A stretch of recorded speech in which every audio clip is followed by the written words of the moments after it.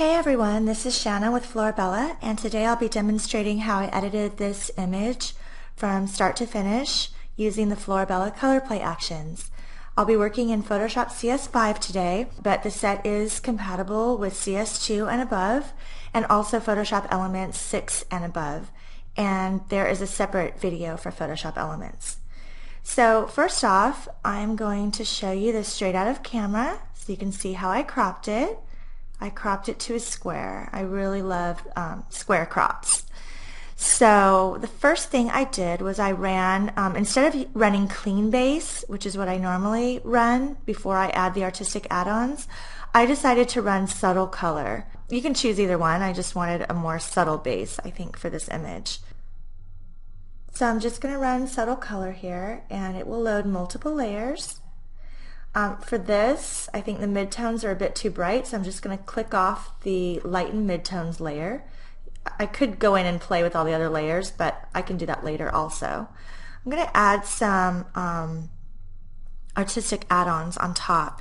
And because I took this photo outside, it has more of a, a green tone to it. I want to change that to more of a wine sort of rosier tone.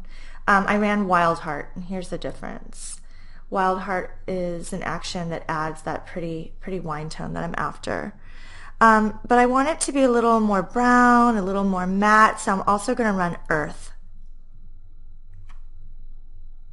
You can go inside these add-ons and adjust the layers too to, to adjust them and tweak them for your individual photo. Um, I'm going to reduce the opacity of that to about 45%, I think, about half of what it was. It was a little too intense for me. And now I can stop there because I think that looks pretty aside from the fact that we need to add some color and dimension to her face. Um, but I'm going to try Summer Peach because Summer Peach adds a real pretty peachy, hazy effect that I like. Okay and that's a little too hazy matte for me. So again, I'm going to bring that about halfway, 45% or so. Now I love um, what's going on here, except I'm noticing that she needs a little definition in her eyes and definitely some blush brush on her face just to add that rosiness. Um, I use the blush brush on almost every image, whether it involves um, a portrait or not. I use it on, on florals and landscapes, just about anything. So the blush brush is down here in the brushes section. And so I'm going to click it um, twice. Actually, I'm going to click it three times because I like to separate um, the lips from the cheeks, etc. Now you'll notice that um, I'm using a round brush, a soft round brush. I'm going to keep my opacity at about 50% just so I can see what I'm doing and I'm going to be, you know, making sure that my brush is on white. It automatically should default to that. And actually I'm going to turn it up all the way so I can really see what I'm doing here. And I'm just going to gently um, brush where I want the blush effect. Now if I click on my layer mask and click the backslash key, I can see where I've painted. And many times what I'll do is I'll go in with my black brush at a much lower opacity and I'll just kind of even make the transition smoother by painting back over around the circles of the cheeks just so it doesn't look like blushy circles. There we go. And there's the difference. I could even make it more intense. I'm just going to take off a little bit here. There we go. And already that just adds the color that we need in her face so that the image is more balanced. Um, on the next blush brush layer, I'm going to add just some blush to her lips just to make them a little more rosy. She has gorgeous lips.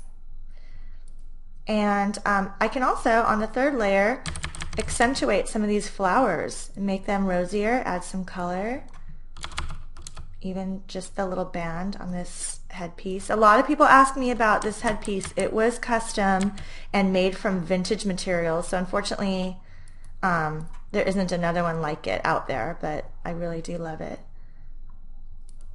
So that just adds a little bit more of a pink element. Okay, the only other thing I might do is to add um, some definition to her eyes. And I'm going to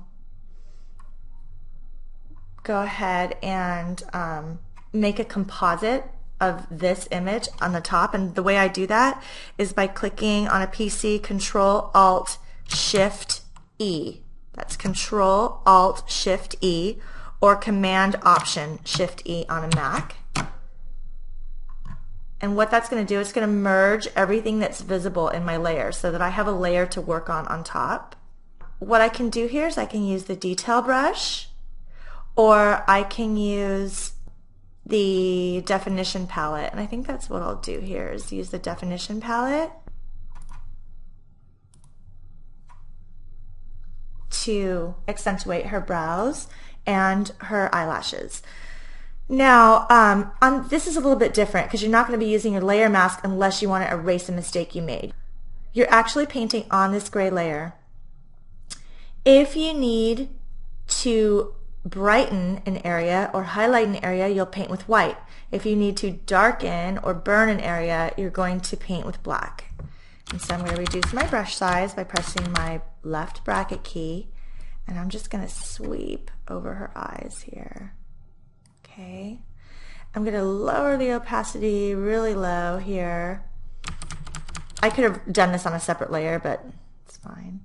I'm just going to paint over her brows just to make them a little darker, just to make it more dramatic. And again, I can decrease, that was a little bit too much here, so I will decrease that opacity to about 60%. Okay, so there is the finished product. The only other thing I might do is, um, again, here's our original, and here's what we end up with. And the only other thing I might do is flatten. I love the noise reduction action from Classic Workflow, so I'm just going to run down there.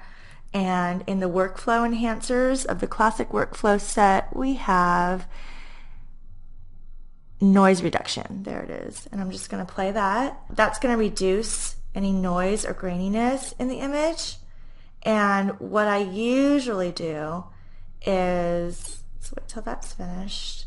It comes with a layer mask and I usually paint with black on the layer mask onto any areas where I don't want to um, decrease any sh real sharpness. So I'm going to take that up to 100% actually.